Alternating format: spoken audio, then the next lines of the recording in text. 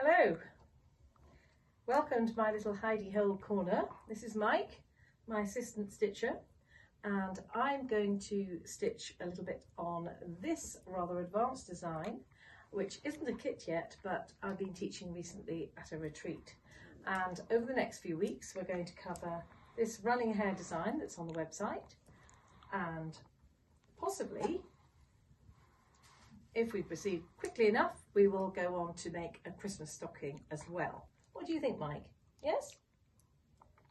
I think he said yes. So um, that's the order of work. We're going to actually start with this one tomorrow.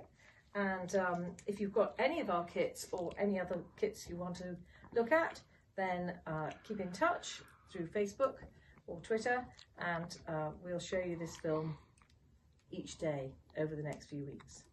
We know that you're uh, probably feeling a little bit worried like us at the moment. It's a very uncertain time and um, I just thought, I can't be lonely. I just got to reach out and um, stitch with you all. Anyway, I'll talk to you tomorrow.